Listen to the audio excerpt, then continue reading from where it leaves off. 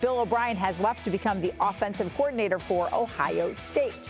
O'Brien leaving after just one season in New England, in which the Patriots had arguably the worst offense in football. Tommy Curran saying last night on Tap for Tire Boston Sports Tonight it was actually Bill O'Brien's decision to leave, and it was the Patriots' intention for O'Brien to return. For more, let's bring in our Patriots insider, Phil Perry. Trenni Casey here with you as well on Arbella Early Edition. Yeah, Phil, this is what I want to know. Is this like yeah, you know, it was my it was my it was my choice to leave. Like when you break up with someone, like no, it was mutual. I, I wanted to leave too.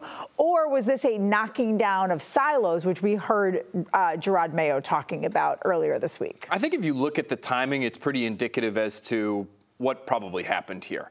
Meaning, if you knew you were going to part ways with Bill O'Brien as soon as the season ended because you did want to knock down some silos, quote unquote, wouldn't you have started the offensive coordinator search already? The way they've started the defensive coordinator search. They've had a handful of guys to talk to about that position. They've had a couple of guys to talk to about the special teams coordinator opening. And so, wouldn't that have already started if you knew you're going to get rid of Bill O'Brien? What this looks like now, Trenni, is that this was a situation in which the door was open for Bill O'Brien to come back. It was a very difficult year for Bill O'Brien. He was looking to move on. I think the Patriots, obviously, they're the worst offense in the league. So this could be a situation where it works out best for both parties. But the fact that they haven't and that we haven't heard about offensive coordinators coming in to interview for this job, it seems to indicate they were waiting for Bill O'Brien to make a call, and now they can move forward knowing that he's going elsewhere. Do you think, though, that they're at least prepared, that they have a list of guys like pretty much ready to go, knowing that maybe Bill O'Brien would say, what, do what he did, which is oh, leave yeah. for greener pastures? Yeah, and, and look, when you're a head coaching candidate in this league, as Jerod Mayo has been several times previously, you go into those interviews with a roster that's three deep at just about every single position on your potential staff. And you have to be able to show that to ownership or GM or whoever you're reporting to and say, this is my top choice. This is where I would go next. If I can't get him, then I'm going after this guy. So they are prepared for this. And I, it wouldn't surprise me, Trenni, if you start to hear some names coming from that Shanahan McVay tree. Even if Jerod Mayo doesn't have a ton of overlap with some of these guys, some of them he does. But if he doesn't have a ton of overlap with some of them, I think he would be open to working with someone who's coming from that tree because it's been so successful and specifically successful with young quarterbacks. Yeah, Phil, so I, I really think this is like a blessing in disguise. I mean, no offense to Bill O'Brien, but I just felt like I, am glad that he left because I feel like otherwise this team was going to bring him back, and maybe they'd have Steve Belichick back, and then maybe you'd keep either Matt Groh and or Eliot Wolf or some combination of both, and it would just sort of be the same, not the same thing, but kind of the same thing over again with just small tweaks in my opinion, this sort of forces the Krafts' hands to start, and Jerod Mayo's hands to really start moving forward in, in a different direction, truthfully start a new era of football. Yeah, I think getting some new blood in here makes sense, right? Now, I'm a Bill O'Brien fan, and I think people often conflate Bill O'Brien and Josh McDaniels. Obviously, they work together. Obviously, Bill O'Brien coached Tom Brady, and he ran that system.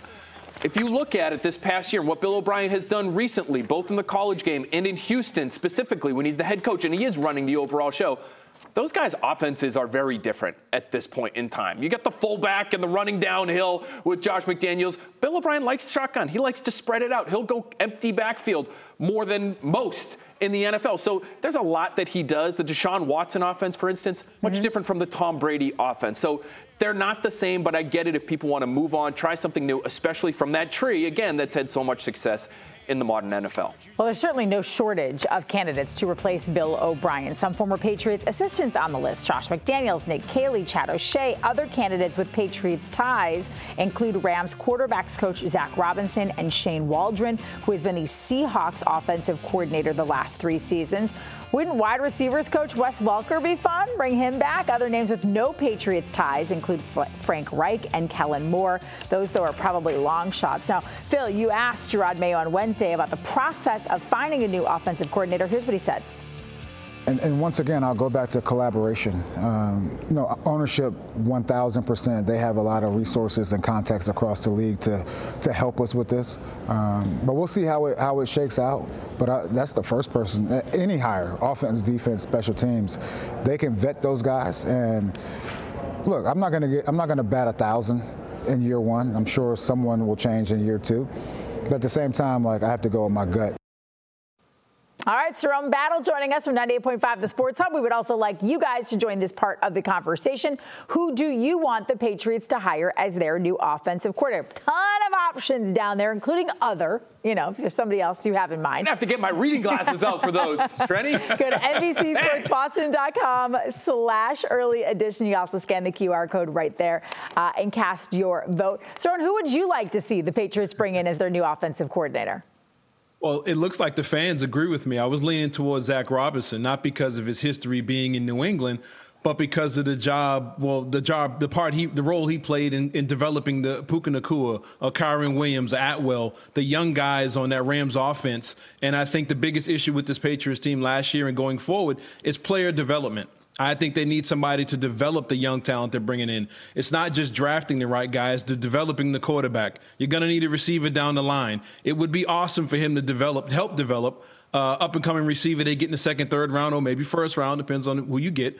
But I think player development is a key thing with them, and I think the job, you know, with that whole staff in LA did with Nacua, Kyren Williams, and Atwell would would be would be huge if they can replicate something like that here in New England. A lot of fans of that 2010 Patriots draft class, apparently. Zach Robinson, seventh round pick of the Patriots out of Oklahoma State back in the day. And I'm with Cerrone on everything he said there. The guy that I might lean toward just because of the experience factor is Shane Waldron. Now, a lot of experience working in the same offense, working hand in hand with Sean McVay. He came with McVay from Washington to LA, quarterbacks coach, offensive coordinator now for the last three years. So he has play calling experience, which is something that Zach Robinson yeah, doesn't have just that. yet. And now maybe there's some the, the, maybe the element of the unknown is actually an attractive aspect of Zach Robinson's game. Whereas Shane Waldron, you can go back over the last three years and say, yeah, two years ago with Geno Smith, it looked pretty good. You you actually helped earn him a lot of money, Shane. But uh, what happened last year? It didn't look so good in 2023, or it didn't look as good in 2023. So there are questions with all these guys. But again, if you've connected yourself in some way to Sean McVay, not a bad guy to have connections with when it comes to trying to develop a young offense. Guys, everybody on that screen there has some votes, Cerrone, except for Chad O'Shea. Why do you think people do not want Chad O'Shea to come back here? And is that someone they should avoid, or are fans just being too harsh? Uh, one, fans being too harsh. Two, fans not really knowing much about him. And I think people just want to see new faces. They want to see something different. And I think that's why you see a huge thing with Zach Robinson. You know, I, people know the name. Oh, he's tied. He has ties with the Patriots. Whatever. They see the Rams. They see the talent. Same thing that caught my eye. But I think it's a not really a popularity contest, but I think that's what it's getting to now. Whatever name you see trending the most is what people are fly, flying to. But I think the, one thing I think people have to understand here is talent really dictates style, play calling, and that type of stuff. If you draft uh, a Jayden Daniels, It'd be it'd be great for you to get a quarterback that understands a read option type offense, similar to what they're running in Baltimore. If you draft a Marvin uh, Marvin Harrison Jr., you would probably look for a coordinator like um, Zac Robinson or somebody like that who has been great with young receivers. So I think the talent, well, the direction of where they want to go as a team, their plan, their vision will determine what kind of coordinator they want and what kind of player they draft. Yeah. just had to mention him, by the way, and he got a couple of votes. And there. he should have more than that. You know, like Chad O'Shea, along with Nick Caley, along with Wes Welker all three of those guys have experienced both of the Patriots offense as well as the Shanahan McVay style mm-hmm. scheme. Where has Chad O'Shea been the last several years? He's been in Cleveland. Who's been the head coach in Cleveland? It's been Kevin Stefanski. Who was his mentor? It was Gary Kubiak, who worked very closely with Mike Shanahan, who obviously is the godfather of this whole thing. So he is very familiar with how that offense that is spread throughout the league like wildfire is run and he has some background here in New England as well. So maybe if there's a relationship there with Jerod Mayo, same deal with Wes Welker and Nick Caley. Nick Caley, people view as a future offensive coordinator. He hasn't coached quarterbacks yet, but people view him in that light. He has a relationship with Jerod Mayo. Does that make him the best fit? Only one year with Sean McVay, but maybe that's enough to help implement that scheme here in New England if that's the direction you want to go. 16% of people want Josh McDaniels. To me, like, listen, I know he did wonders um, that first year with Mac Jones. I, I, I know his family's here. I want nothing to do with it. I do not want to keep going backwards, Phil. Like to me, that is constantly going back to what you're comfortable with. And my fear is that because I know Jerod Mayo told you, you know, hey, I, you know, if it's not my area of expertise, I'm going to lean on the experts. I'm going to lean on the Krafts. Like they love Josh McDaniels. Is this a real possibility that he could come back and we would go back for the third time to Josh McDaniels as offensive coordinator? Well, you mentioned McDaniels' familiarity with the area. You mentioned his familiarity and his relationship with the Krafts. I think that that makes it a realistic option. But my guess is that he ends up with Bill Belichick. Wherever Bill Belichick goes, we know how close that relationship is. And if Belichick ends up in Atlanta, I would be very surprised if Josh McDaniels doesn't go down to Atlanta with him and run that offense with whoever is playing quarterback there. So I, I think it feels like now, Cerrone, the time to move on and the time to shift and change offense, especially you bringing a young quarterback in here. Josh McDaniels' offense, as productive as it's been in New England and as productive as it was with Mac Jones, I think for most young quarterbacks, it can be really difficult to run because it's complicated. The, that playbook is voluminous. There's a lot on the quarterback's shoulders. So this might not be something that you want to do if you feel like you're taking a quarterback with the third overall pick who's coming from a very collegey, quote unquote, college offense. Mm-hmm. Yeah, I mean, I'd stay away from him too. I mean, I'd want him just for the for the story of the him and Mac Jones relationship and see how that goes with the new quarterback, whoever they take. I think that'd be hilarious. But I think he's going to go with Bill. And I think one thing you have to, I, I, just not going by anything, just my own personal feeling. If he came back to New England, I wonder how far down the line he'd be looking to replace Mayo if things went south. If we'd be looking over his shoulder the whole time with McDaniel sitting there, knowing he's good, have a good relationship with the Krafts. But I would stay away from him. I'd bring some fresh blood in here and and go a different direction. And like you said, this is the perfect time for a complete overhaul of that offense. And I think it's it's absolutely needed.